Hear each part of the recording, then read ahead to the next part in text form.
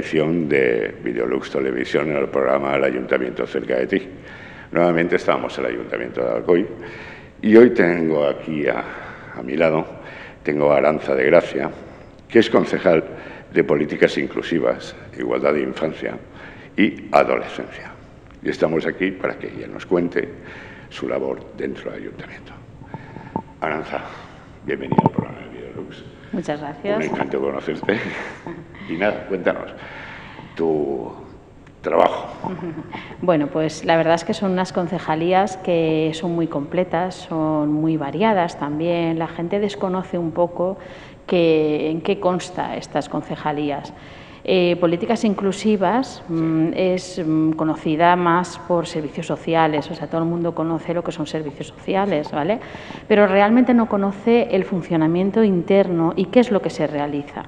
Porque nosotros abarcamos desde, desde la población eh, de cero, a, todos los años, ¿vale? O sea, no tenemos un tope, ni un límite, ni unas condiciones. Nosotros trabajamos con toda la ciudadanía en general. Por eso son políticas inclusivas, porque no podemos delimitar ni por edad ni por condición. Entonces, eh, para que entendáis un poco la situación de, lo que es la concejalía, lo que son servicios sociales. Aquí tenemos tres unidades de trabajo, tres unidades que le llamamos UTS, Unidad de Trabajo Social, que están distribuidas en los diferentes barrios de la ciudad. Tenemos la central A1, que está ubicada en la zona del Camí, el Camí 40, conocido por, todo, por todos los alcoyanos y alcoyanas, que la gente viene allí ya porque es lo, más conocido, ¿vale? Pero sí que nos dimos cuenta de que Alcoy necesitaba también tener eh, más amplitud, más, eh, eh, trabajo directo con toda la ciudadanía y poder apostar por estas políticas. Eh, se pusieron las dos unidades también, las otras dos, la 02, que está ubicada en la zona norte, porque es un barrio muy poblado también, donde se necesita mucha, mucha atención. Y la otra unidad, hasta hace muy poquito, estaba en la calle Oliver en la calle Olivera en el Palacete, conocido como el Palacete, pero eh, bueno, desde hace poco nos hemos trasladado de este año, este mismo año, por eso te lo, te lo cuento, y estamos ubicados en la zona de Isabela Católica, en la parte de abajo de Isabela Católica, ¿eh? porque ahí se abarca lo que es la zona de Santa Rosa, Batoy y Ensanche. Claro, una zona también eh, que la, la, ciudadanía necesita tener una ubicación para poder realizar sus atenciones, sus necesidades, eh, cualquier, cualquier tema que quieran preguntar, porque a veces no sabemos dónde dirigirnos y sí que es importante tener referentes y poder eh, y llegar a un sitio y que la gente te escuche y que te diga qué, qué es lo que tú necesitas. O, qué, hacia dónde puedes ir, porque también te pueden informar hacia dónde puedes ir, ¿vale? Ante cualquier situación. Eso es para que entiendas lo, son, lo que son las tres unidades centrales, ¿vale? Dentro de las unidades centrales hay un equipo mm, formado por trabajadoras sociales, educadores sociales, eh, eh, psicólogos, técnicos en integración social, o sea que tenemos unas unidades muy completas para poder abarcar a, mucha población en muchas demandas. Y también, eh, también una de las novedades que hemos hecho a partir de este año es que anteriormente teníamos una unidad de inserción sociolaboral que estaba ubicada en el centro de Alcoy, en la Carsando Méndez, en el centro, pero ante la demanda y ante las situaciones nos dimos cuenta que teníamos que abarcar más, no nos podíamos quedar solo en un, en un barrio concreto o en una zona concreta. Por lo tanto, al ampliar esta zona de Isabela Católica, se ha trasladado también a trabajadoras, a una trabajadora allí para poder atender esta necesidad y cubrir este barrio. En la central se ha quedado también este servicio, o sea que intentamos pues, poder atender todas estas necesidades. ¿vale? Y eso es en lo que se refiere a lo que es la base de, de, lo que son las unidades de trabajo social. ¿Qué se hace allí? ¿Qué se puede pedir? ¿Qué se puede demandar? Cualquier necesidad que cualquier ciudadano o ciudadana pueda tener desde una ayuda que se necesite a una atención, porque tenemos personas mayores, mucha gente tiene personas mayores y a veces necesitamos un asesoramiento o qué podemos hacer. El tema de la dependencia, tan conocido y tan demandado también. Cualquier necesidad, una familia puede tener una persona que tiene una serie de problemas ante cualquier situación, una conducta, una situación difícil, acérquense a los trabajadores sociales que les pueden atender y de ahí se derivará si es algo más concreto o si es alguna atención más especializada. Porque nosotros tenemos los servicios de atención especializada, como es el, el tema de unidad de conductas aditivas, que tenemos que estar ahí trabajando, pero con todos, con mayores, con adolescentes, con niños, para poder abarcar este tema. Después también tenemos el tema de la dependencia que te he comentado, pues es más concreto porque solo abarca temas de dependencia y dependencia mm, abarca a todas las edades. ¿vale? Cualquier situación se puede tener. Y eh, después también tenemos la unidad de igualdad, que esa es más concreta, la unidad de igualdad, que esa está ubicada en la calle San Doménez, y ahí tenemos un, un equipo de tres personas que que tiran adelante con todo, donde se realizan muchísimas actividades a la ciudadanía para poder trabajar el tema de la igualdad, las contra las violencias, porque se tiene que trabajar desde la educación, eso es importante. Por lo tanto, tenemos un programa para los eh, centros educativos donde se trabaja, pero desde pequeños, porque la educación es para todos y para todas. Y trabajar en la igualdad es poder trabajar muchas, muchas cosas. La gente a veces dice, bueno, ¿y esto para qué está? Pues muchos de los problemas que a lo mejor se tienen de mayores se evitarían si tenemos eh, esta unidad y esta, este trabajo de educación en igualdad para todas y para todos, porque todos somos personas y tenemos que, trabajar en ello. Hay que ayudar a todos. Por supuesto. y eh, esta unidad de igualdad, desde el año pasado se creó la escuela, bueno, te lo voy a decir en valenciano, pero te lo traduzco, ¿vale? Porque el nombre es Escuela de Empoderamiento Mariola, ¿vale? Es la Escuela de Empoderamiento Mariola para mujeres, para chicas para jóvenes, para adolescentes, para empoderarlas, para que vean que hay muchísimas salidas y que en ningún momento son más ni menos que nadie, sino que avanzamos y se puede hacer cualquier cosa que se proponga todas las personas.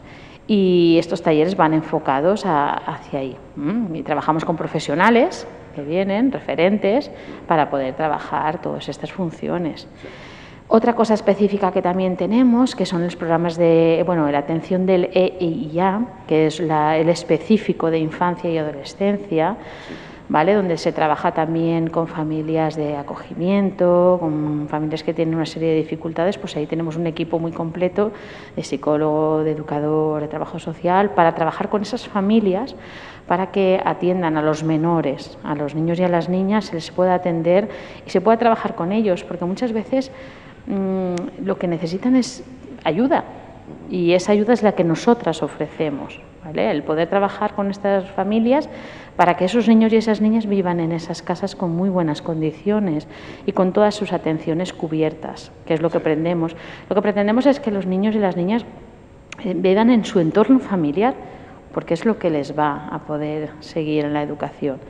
No, como algunas veces dicen, es que lo que quieren en los servicios sociales es quitarlos. No, no, al contrario, lo que queremos es ayudar y queremos trabajar con estas familias. Y después también tenemos el programa de, del API, que es la atención prenatal de infancia, que eso es muy curioso porque empieza, se empieza a trabajar desde la mujer embarazada. O sea que ya no estamos hablando de cero, sino estamos hablando del, del, embarazo, ¿vale? Ayudar a esa futura madre. y, padre o parejas, o sea, esas futuras parejas, esos futuros progenitores, que son los que van a educar a esos niños y niñas y a esos futuros, que, es lo, bueno y lo bonito que, se pueda, que se pueda trabajar. Y en eso se trabaja también el tema del apego. El apego es muy importante porque se ha detectado que muchas de las mm, actitudes en adultos se podían haber evitado si el tema del apego hubiera estado mejor trabajado. Y es un tema que te recomiendo que, lo veas. Nosotros en la página web del ayuntamiento tenemos los vídeos, los enlaces, los trabajos que se hacen. Es muy bonito, muy bonito y muy curioso trabajar con, con, todo, con todos estos temas, ¿sabes? Más cosas, ¿quieres que te cuente? Claro, vamos, tu trabajo. Bueno, y después tenemos el, en el tema de infancia y adolescencia el CLIA. El CLIA es el Consejo Local de Infancia y Adolescencia de Alcoy. El CLIA tenemos, bueno, Alcoy es Ciudad Amiga de la Infancia por UNICEF. Eh, tenemos el sello reconocido por UNICEF.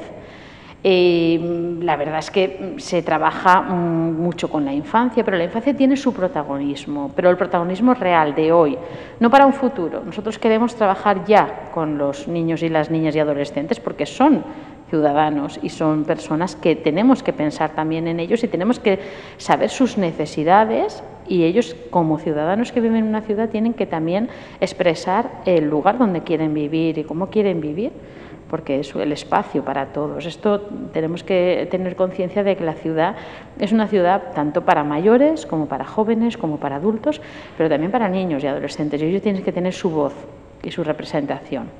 Por ello, en el 2018 se firmó, eh, bueno, UNICEF nos dio ya el sello de Ciudad Amiga y se empezó a trabajar con un consejo local de infancia y adolescencia. Este consejo eh, se ha representado por diferentes alumnos de todos los centros educativos de Alcoy, todos y cada uno de ellos.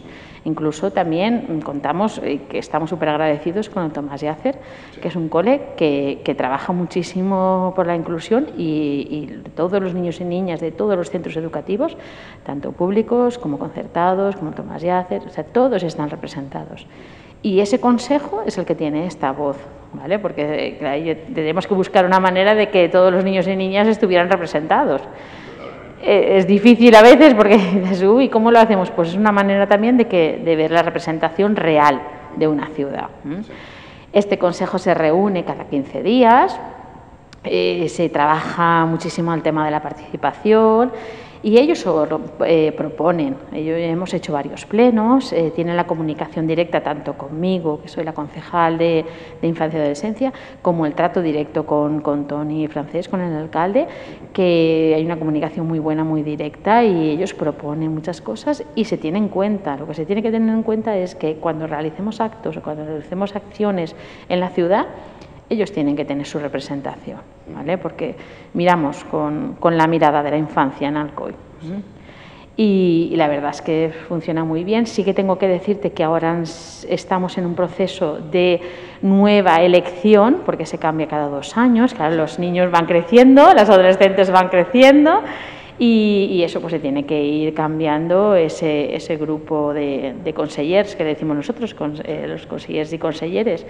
Pero sí que se les deja que, que quien quiera continuar manteniendo esa, esa unión y esa involucra, o sea, su, involucración hacia, hacia, hacia ese consejo se puede quedar para poder aportar, ¿vale? Porque es importante tener al grupo, al núcleo y que los mm, demás niños y niñas que quieran acceder, pues que tengan referentes que ellos ya han estado trabajando durante estos dos años. Y en septiembre serán las elecciones en los colegios educativos, que están todo preparado porque se han hecho la pre-campaña, ya hay niños y niñas que ya se han preparado para hacer su campaña. Se realizará la, campaña en septiembre y octubre y se formará el nuevo Consejo de, Local de Infancia y Adolescencia de Alcoy. Se reúnen en el CCJ, que es en el Centro Cervantes Llove, que está en Alzamora. Ahí tienen su espacio y es donde ellos pues, se juntan. La verdad es que es muy bonito ver que diferentes edades intentamos abarcar desde 11 años hasta 16 años, porque 16-17, cuando ya van finalizando lo que son los dos años del Consejo, tienen muchísimas cosas en común. Eh, a veces decimos, mezclamos niños y adolescentes, pero dentro de este grupito mm, tienen muchas cosas en común, trabajan muy bien juntos, porque todos van a trabajar por la ciudad de Alcoy. Entonces, cuando se tiene un objetivo y, una, y unas prioridades, la verdad es que todos trabajan muy bien, muy bien. Y bueno, también comentarte que UNICEF en el 2018, eh, también aparte del sello de UNICEF que nos dio como Ciudad Amiga de la Infancia, también nos dio un, premio por buenas prácticas al programa que te comentaba antes del API, de, los, de entender al bebé, de, lo, de los menores. O sea, que pienso que vamos trabajando por buen camino. ¿Sabes? Y bueno, eso es un poco un resumen de lo que realizamos en la ciudad a nivel de políticas inclusivas, de igualdad, de infancia y adolescencia. Sí que también comentarte que en el tema de igualdad Eh, a ver, el tema de la pandemia ha sido muy duro para muchas mujeres. ¿vale? Nosotros trabajamos conjuntamente con la Oficina de Víctimas de Violencia de aquí del juzgado, como con la Policía Local, que está en la unidad, y la Policía Nacional, que tiene la OVID. Em, trabajamos conjuntamente con la unidad de ELDA, que es la itinerante del Centro Dona, del Centro Mujer 24 horas, para poder hacer atención eh, a toda, ante cualquier caso, cualquier eh, víctima de, violencia que, pueda suceder. Y el tema de la pandemia, estar en casa ha sido muy duro para, muchas mujeres. Pero yo pienso que, mm, que la mujer tiene que, que, tener ese valor para poder denunciar, decirlo, comunicarlo y saber que estamos aquí y que vamos, estamos para ayudar y para poder trabajar todo lo posible para que no hayan estos casos. Es muy difícil, eh, pero no dejaremos y no cesaremos en, en hacer hincapié a esto. Yo siempre lo digo, ante cualquier situación que se pueda ver, que una pueda padecer, sufrir, hay que comunicarlo. Y si lo ves, que está pasando a tu alrededor, también. También hay que decirlo, denunciarlo, comunicarlo, hay que colaborar. No nos podemos quedar con los brazos cruzados. tenemos que avanzar en eso. Hay que estar pendiente de todo, hay que estar muy pendiente. Por supuesto, por supuesto. Y bueno, podría contarte muchísimas cosas. También comentarte que en el tema de, bueno, en esta concejalía también tenemos el Consejo de Bienestar Social. ¿Vale? El Consejo de Bienestar Social está formado por muchas entidades. Alcoy es muy solidaria, afortunadamente. Tenemos muchísimas entidades sociales que trabajan por, por toda la ciudadanía y bueno, está representado por alrededor de 43, 44 entidades sociales, que se dice pronto, pero son muchas y además eh, muy constantes y cada una abarca mm, diferentes situaciones. Y bueno, trabajamos mm, con ellas, eh, apoyando. Mm, realmente, yo siempre digo, es una cosa que, que a veces me repito, pero pienso que es importante decir, a la administración local está y llegamos donde podemos llegar pero la entidad eh, social, las entidades de las ciudades sociales, llegan a veces más de donde nosotros podemos cubrir. Entonces siempre tenemos que, siempre tenemos que trabajar de la mano, siempre. Trabajar de la mano de las entidades, porque son las que mm, normalmente, mm, eh, bueno, yo creo que nos nutrimos mutuamente. la entidad local se nutre también de las entidades sociales. La entidad social sabe que tiene eh, la entidad local para, para lo que necesite, pero se tiene que ir trabajando y avanzando.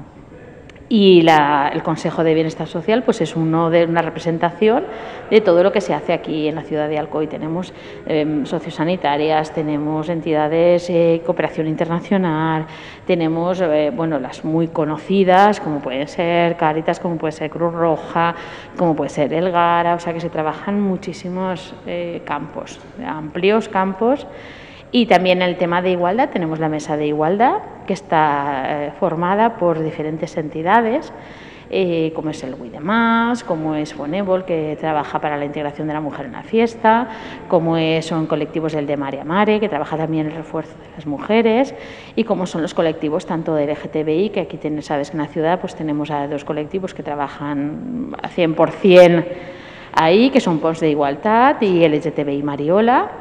Y, por supuesto, eh, tanto en un consejo como en otro consejo también trabajamos con, la universidad, la, Politécnica, que siempre está apoyándonos, o cualquier mm, cosa que se pueda solicitar a cualquier universidad o cualquier em, eh, ya más amplio, ¿vale? O sea, cualquier entidad más, más eh, que podamos decir, bueno, pues es que necesitamos esto, sabemos que ahí tenemos el refuerzo de, la mutua, de de la universidad, de cualquier colectivo que, quiera trabajar.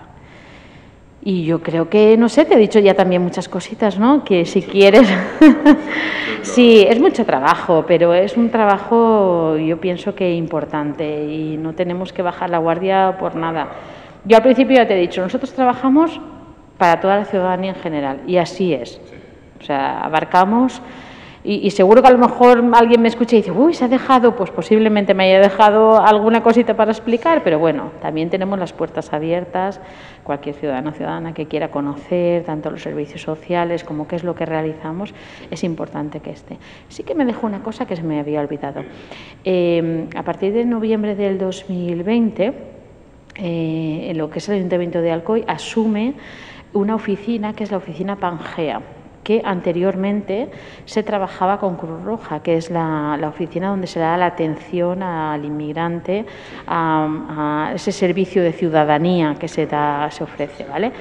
Eh, siempre trabajamos también de la mano de Cruz Roja, porque, mm, como de otras entidades, porque se tiene, que, se tiene que ir de la mano, no se puede dejar, no se puede decir, ahora yo asumo las cosas solos, no, hay que ir también eh, de la mano. Y, pero sí que ahora se tiene en la zona central del CAMI el centro del Pangea, que es la atención a, cualquier inmigrante y cualquier persona que necesite una atención, un asesoramiento y ahí tenemos una persona que, que vamos, que trabaja 100%, aquí, aquí no se trabaja 100%, aquí, vamos, aquí la gente, Pero se trabaja muy a gusto porque realmente es un, es muy humano, ¿vale? Es un trabajo muy bonito, muy humano y pienso que se da un servicio de atención eh, que, toda ciudad, toda población, todo recurso pueda tener y, se hace con, de corazón, de verdad. Ahí tengo un equipo muy bueno que siempre lo digo, si una, las cosas van, pero van porque se tiran adelante.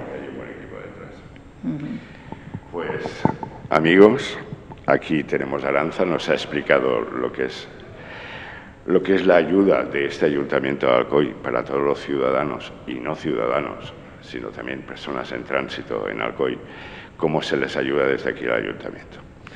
Yo solamente quiero decirle lo que son las políticas inclusivas. Yo tuve que, tuve que pedir ayuda para mi madre y fue muy, muy rápido me atendieron rapidísimamente. Además teníamos fecha y todo para que esta mujer pudiese venir a ayudar a mi madre. Comenzaba, me acordaré siempre, un lunes y desgraciadamente no la pudimos utilizar. Mi madre murió un sábado. Y desde ahí le quiero dar las gracias al Ayuntamiento de Alcoy por lo rapidísimo que lo hicieron. Solamente que eso, que mi madre no llegó a disfrutarlo. Bueno amigos, desde aquí, desde Alcoy, desde políticas inclusivas, feliz verano, tener mucha salud y mucho conocimiento y que en septiembre os podamos volver a todos. ¿De acuerdo? Chao, feliz verano.